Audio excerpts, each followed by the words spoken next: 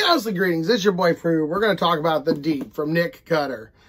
Uh, let's get into it. This is recommended by Sara at Sara MG Reads. Sara, you kind of gave me this book for one of my Hey Pick My Neck book challenges.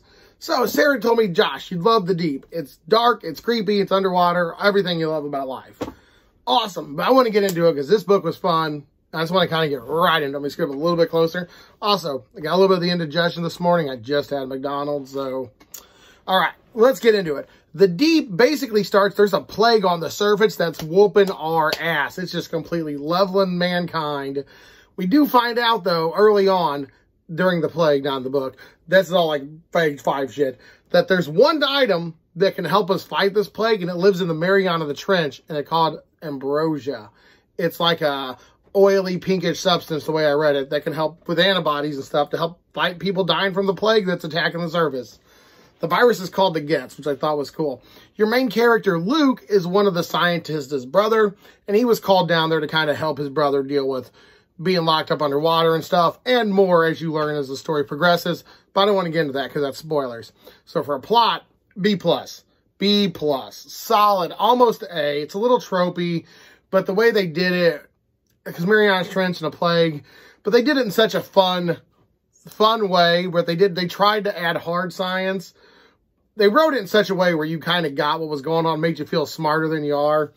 And, and, unless you're actually smart, and then you're probably like, uh, but if you're like me, you're like, oh, I kind of get what's going on. So that's a solid plus on the thing. Characters, though. Um, I, I only finished this book a couple days ago, and I'm already forgetting who all these characters are. I finished this on uh, Saturday. It's Sunday. So I finished this less than 24 hours ago. About 24 hours ago. And I'm already forgetting some of the characters. I know Luke and his son and his brother. But the characters don't stick with you. The cardboard cutout, I mean, they serve their job while you're reading it. There's no characters. You're like, oh, look at this bland cutout. But there's definitely no characters that stick out in your head like, oh, shit, this fucking guy. He's the next Larry Underwood. No, he's not. He's not. He's not. There's nobody like that in this book. So characters, I got to give a C to. They didn't hurt the story, but they didn't help it. You're going to remember scenes more than you remember characters. Not the other way around. All right pros and cons. Pros, it's underwater. So that definitely fanboys me up a bit. Uh, the writing is done good. Like, it moves pretty quick. You can do 100 pages, no problem. And it has different breaking points for the series. Like, part one, get to the lab. Part two, everything falls apart. If you like the movie The Thing, imagine that underwater. Cons, there's these fucking flashbacks. The Nick Cutter's got to stop with these flashbacks. There's a chase scene in one of the books, and you like, does he make it? Oh, let's have a flashback scene. Oh, now I just broke my immersion. Like, I was on a plane when I started reading this, and I was like, oh, do I just skip it? Because I wanted to just know, but so much of this book is done from flashbacks. We got like 550 pages. We could easily had a 300 and something page book that was just an awesome, quick, dark read. If you just cut out the flashbacks, man, the flashbacks, I get it what they did to the story, but it just kind of held it back. Or maybe do like the beginning as a flashback. Like maybe that's just part one and then a flash, the whole flashback and then go on with the story. But to part of the story, flashback part of the story flashback. I didn't feel like I was getting anywhere. Ah, oh, that con hurt it hardcore.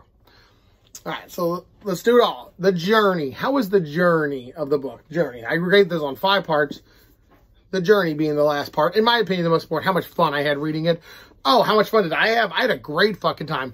I'm going to need therapy. Some of this stuff was twisted with the animals and the freaking viruses and the underwater decompression stuff. Ooh, yuck. Reminded me of Event Horizon a little bit too.